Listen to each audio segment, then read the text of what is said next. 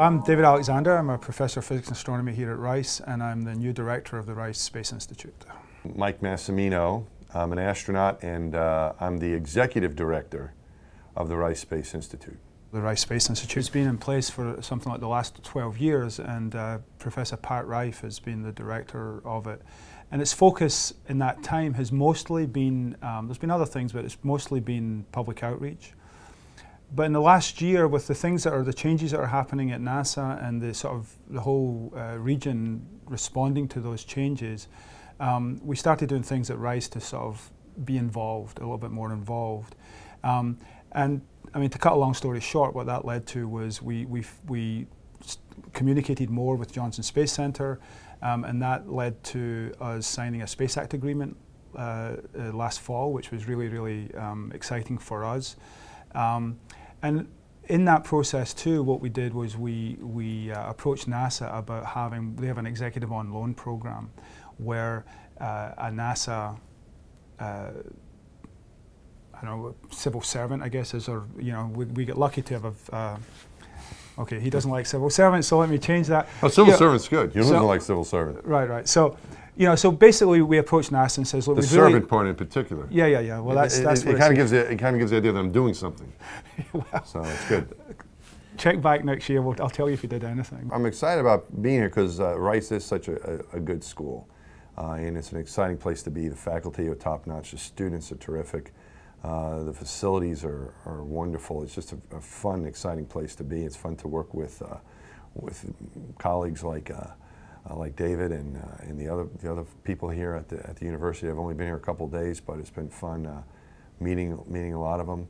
Um, so I, you know, I'm, I'm hoping that I'm going to be able to contribute to that relationship with uh, with NASA and Rice. There's been, a, I I think, a pretty strong relationship between between NASA and Rice since the beginning of of, uh, of NASA's existence, uh, particularly when we moved down here at the Johnson Space Center. And we're looking to try to strengthen some of that. You know, we have a, a- a few good uh, projects going on between the school and and, uh, and NASA, and we're hoping to, to maybe build some more and, and uh, kind of just instill a little bit of the of the NASA excitement here at, at Rice and, and get some of the students excited about what we're doing and and look for more cooperation between the two uh, the two entities.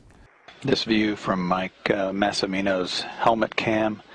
And you know, I think there's a lot of focus on Mike being an astronaut, but you know, really, he's also got a lot of technical uh, expertise and experience. And in fact, he's been an adjunct in our um, mechanical engineering department um, for a number of years, maybe five or six years now. So, you know, so it's that technical knowledge that helps us def- define and, and identify the programs that we want to work on.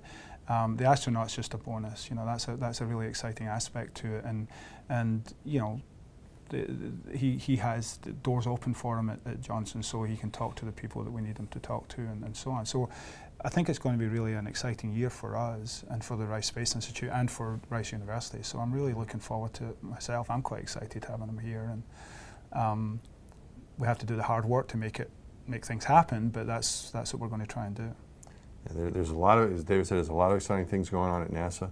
A lot of them I don't even know that much about. You know, there's some I do know about, particularly on the human side of it, but there's uh, uh, lots of different projects going on uh, at NASA, at the Johnson Space Center nearby.